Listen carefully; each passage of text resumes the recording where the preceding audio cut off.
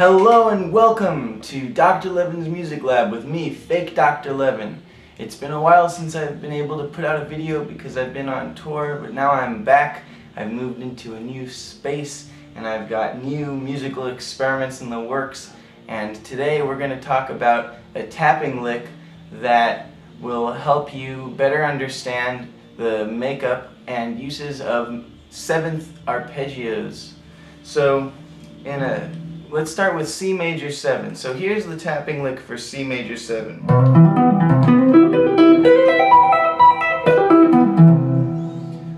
What this uh, lick utilizes is it takes the four notes of the seventh chord, the 1, the 3, the 5, and the 7, and places them, puts them in a, in a shape that's really easy to play fast and is um, a really beautiful and fluid tapping lick.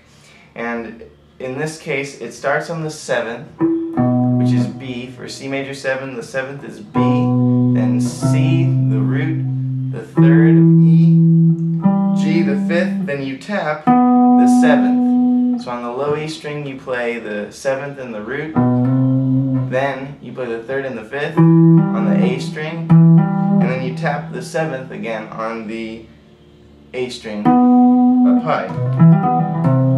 And this exact same shape can be put in three octaves. You can put it here, here, and here. So it doesn't change at all as you move up the neck, uh, which is part of why I like it so much. The reason why it's a good, also a good tool for better understanding the seventh chords is because you can clearly visualize the differences between each type of seventh chord. For example, we have C major 7. There's a half step between the seventh and the root. And then the major third and the fifth. It's right there. Now if we make this a dominant seventh chord, the difference between a dominant seventh chord and a major seventh chord is that in a dominant seventh chord you flat the seventh. So here's the seventh in major 7. The seventh in a dominant seven. We flat it, put it down one fret. So here's a dominant seventh chord, and remember we're going to tap now the flat seven.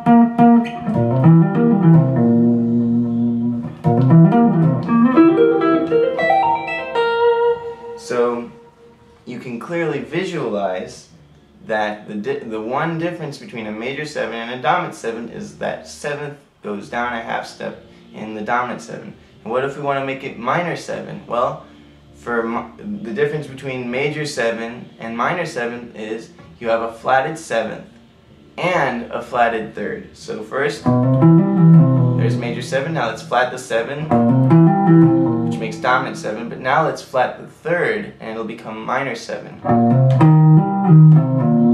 So now we've got a minor 7 arpeggio. And it's just a really simple like moving of your finger just this much and it's it feels like the same lick so.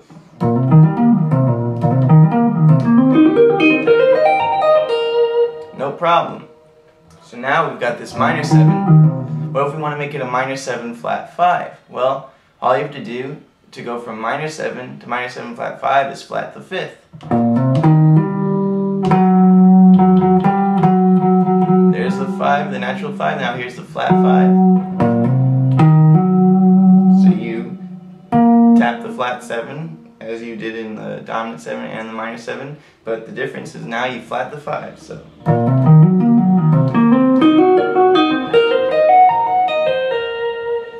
So it's a really great, easy to play, I mean it's not super easy, you have to practice it slowly and build it up, but it's simple, it's easy to remember, easy to understand, way to play the 7th arpeggios and I feel like it's a really useful tool for understanding the differences between them. So included in a printout below, I have each arpeggio just in one octave, major 7,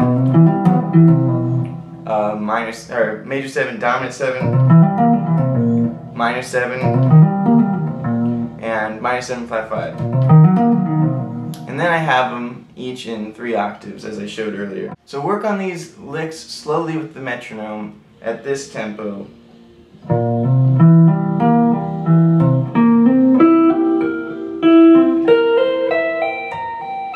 Or slower, any tempo where you can really be rhythmically precise. And then eventually from practicing it very precisely, you'll be able to play it fast. But the speed comes as a result of being very accurate when you practice. You don't need to practice this fast for it to become fast.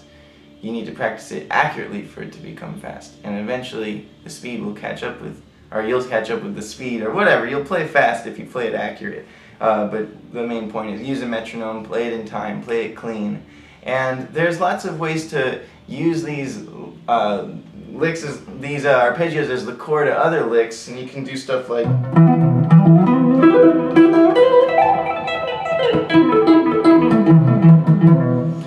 Did there is I took these arpeggios and then I started adding other notes to them. Like, for example, instead of the seventh being tapped, I'd tap the sixth. And then I pull off and then tap the seventh. And so you can go like, and what I did here is I did the third, then the root, then the seventh and experiment with tapping different high notes while you do this same bass arpeggios and see what you can come up with. So I hope that you enjoyed these arpeggios. I hope you got a better understanding for what makes up a seventh chord and the differences between each one. And I hope that these licks inspire you to do things that are good.